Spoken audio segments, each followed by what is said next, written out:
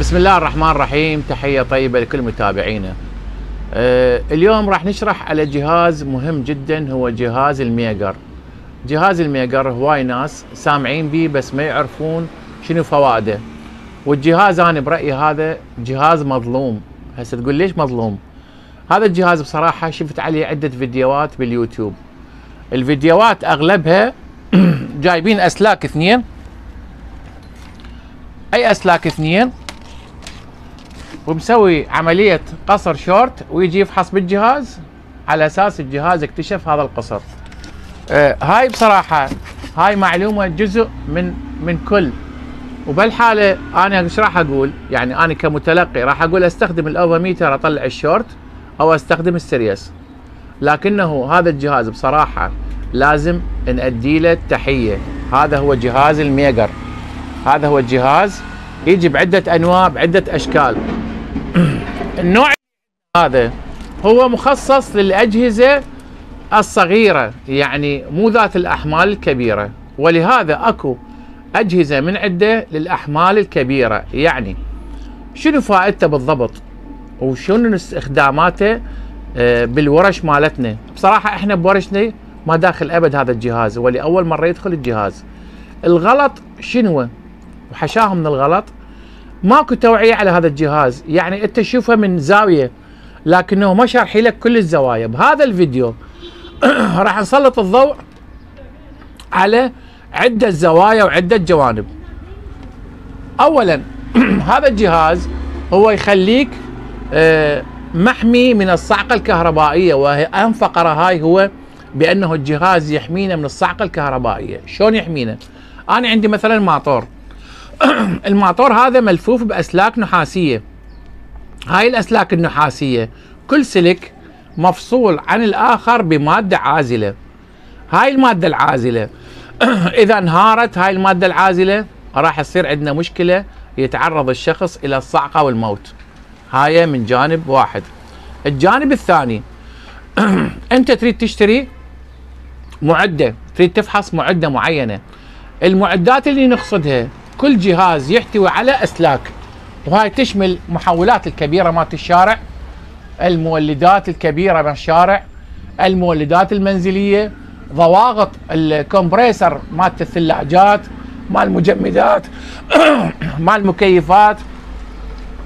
كل هذه الماطورات الصغيرة الماطورات الكبيرة كل هاي الأجهزة تقدر تفحصها بهذا الجهاز. راح تقول لي أكو series راح تقول لي أكو أوفوميتر صحيح. لكنه ال series وال avometer ما يطلع لك استهلاك هذا العازل لأنه هذا العازل هذا العازل يستهلك بعدة شغلات. الشغلة الأولى إنه إذا تعرض إلى جهد عالي تعرض إلى حماوة عالية تعرض إلى حمل زايد تعرض إلى رطوبة أي ظروف جوية رديئة راح يستهلك هذا العازل. واستهلاك هذا العازل أحيانا أحيانا لا يظهر عندك لا بالأمبير ولا بال series ولا بالأفوميتر. اذا هذا الجهاز سويناه أو سووه الشركات حتى يظهر لنا عيوب الملفات. زين. شنو الفكرة مالته قبل ما ندخل الجهاز حتى نعرف شنو الفكرة مالته؟ الفكرة مالته هو تسليط فولت عالي DC.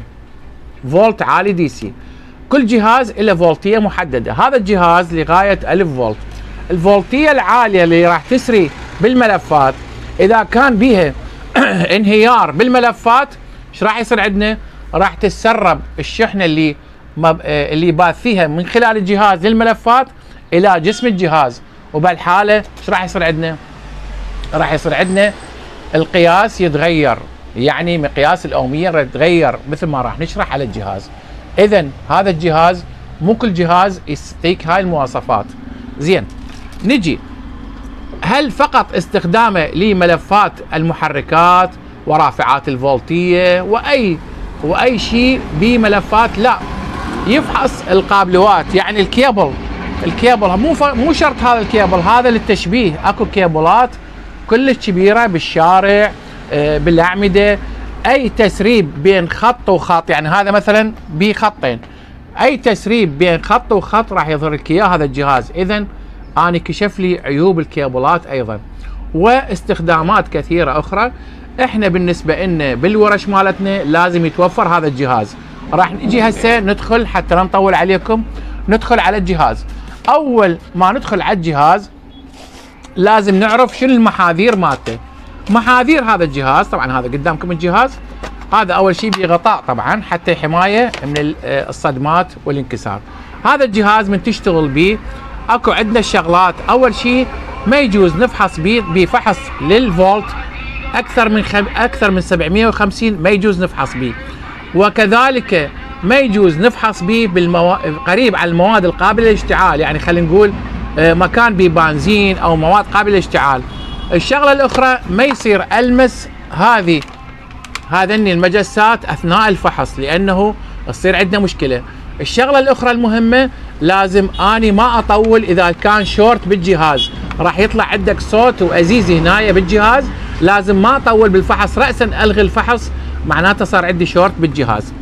هاي تقريبا النظرة العامة للجهاز وتحوطات الأمان.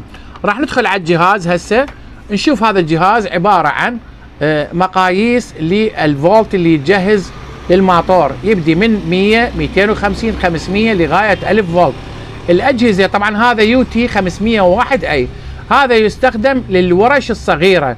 خلينا نقول عندك آه، ورشة تبريد تفحص بها الكمبريسرات تفحص مولدات تفحص ماطورات مثل ورشتي. زين عيني؟ النقاط اللي بي هاي بي light وبي hold يعني تثبت القراءة وهاي نقطة ال test الفحص. باربع مكانات المجسات ومرفق ويا مجسين فقط. مجسين حار وبارد خلينا نقول أسود وأحمر. الأسود دائما يكون هنايا والأحمر يكون هنايا في حالة فحص العازلية. وهذني المجسات بصراحة ما راح نحتاجها هواي هذا يقيس لك الفولتية الفولتية ال AC فإحنا راح يكون تركيزنا على هذا المؤشر وهذا المؤشر حتى نفحص. بمجموعة بطاريات تكون بالخلف والشركة مزودتنا بهاي البطاريات راح أفتح لكم إياها حتى تشوفوها. طريقة الفحص مالته كلش سهلة وما بي أي صعوبة. وأنا سويت لكم فيديو لاحظ بست بطاريات واحد ونص فولت. زين عيني؟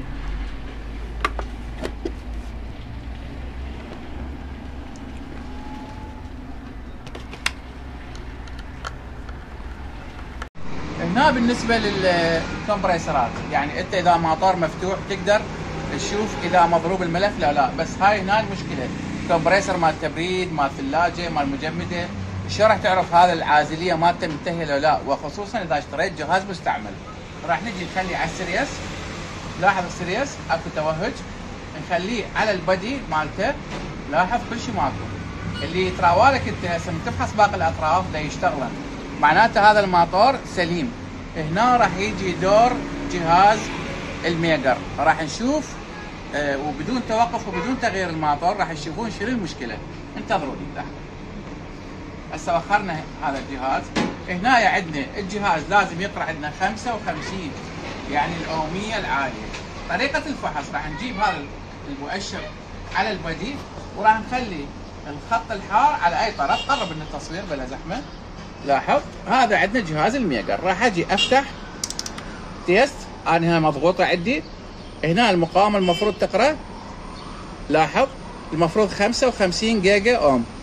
لاحظ قرا شقد؟ تقريبا نص القراءة. اذا هذا الماطور بمشكلة بالملفات منتهيه العازلية مالته. هذا فائدة هذا الجهاز مبين القراءة عندك؟ هاي القراءة؟ إي نعم. واضح.